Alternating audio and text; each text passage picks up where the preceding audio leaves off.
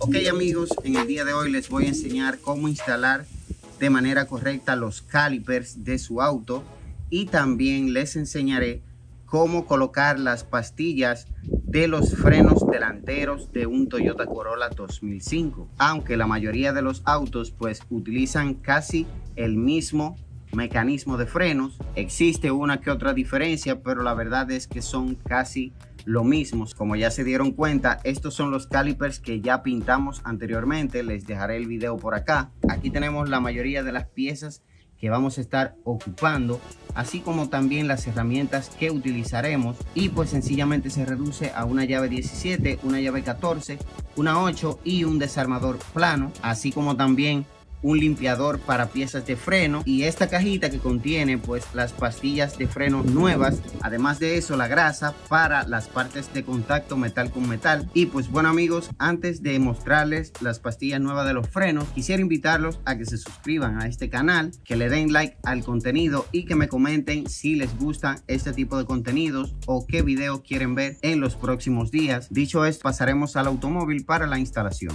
Ok amigos pues básicamente esta es área en donde vamos a estar trabajando. Aquí podemos ver el cojinete, el plato que cubre el disco y estos dos piquitos en donde vamos a instalar pues la mitad de nuestro caliper.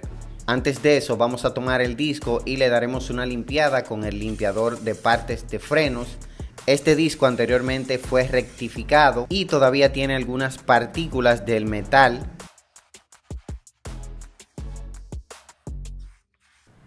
Y bueno, luego de haber limpiado el disco, lo que resta es pues instalar el disco, lo vamos a colocar por acá. Luego de eso, esta es la primera o la mitad de nuestro caliper en la masa de metal que es en donde está nuestra junta homocinética que por cierto es bastante intuitivo ahí colocarás dos tornillos diámetro 17 y pues vas a colocar primero con las manos hasta donde puedas y luego de eso apretarás con una matraca y un dado también de 17 milímetros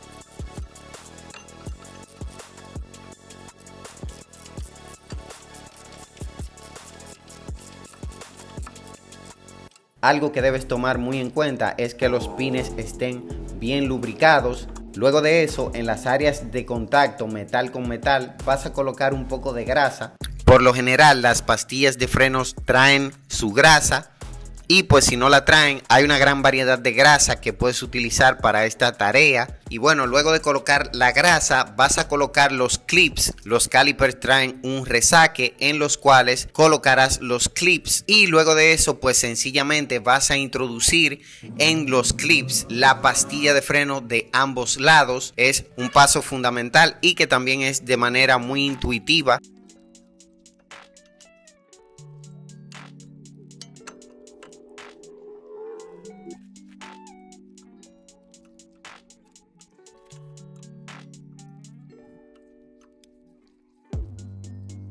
Luego de eso vas a colocar pues la pinza, que es la otra mitad de nuestro caliper.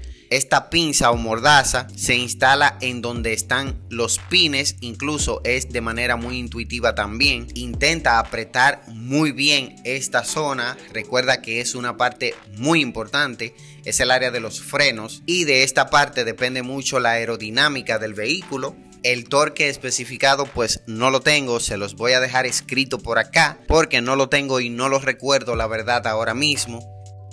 Ya para el otro lado es exactamente lo mismo, es bastante sencillo.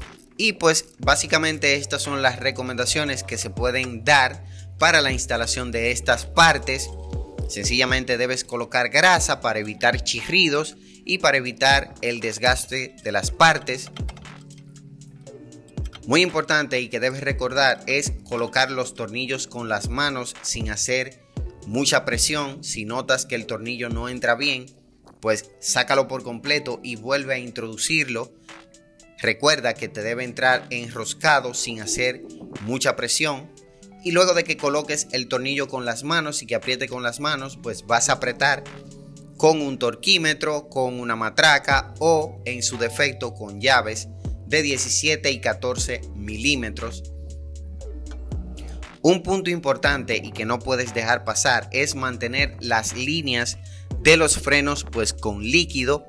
Para eso debes verificar el cilindro maestro y luego de que coloques estas partes, si desmontas la pinza o el caliper, literalmente vas a tener una fuga de líquidos de freno, por lo que te recomiendo revisar en el cilindro maestro el nivel de líquido de frenos y luego de instalado el caliper nuevamente, vas a purgar las líneas y completar en el cilindro maestro el nivel de líquido de frenos. Y finalmente colocar la llanta. Es muy importante hacer algunas pruebas y verificar que no quede ninguna fuga de líquido de frenos.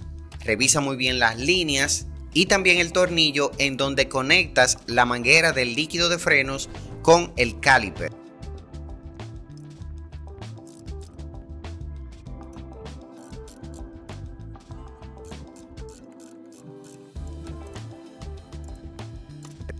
Si te ha gustado el video, te quiero pedir que te suscribas a este canal, que me dejes un me gusta y que me comentes, muy importante, que me comentes de qué tema quieres que hablemos en este canal, para saber que me estás apoyando y que te guste el contenido que vengo haciendo. Bye, hasta luego, guencha.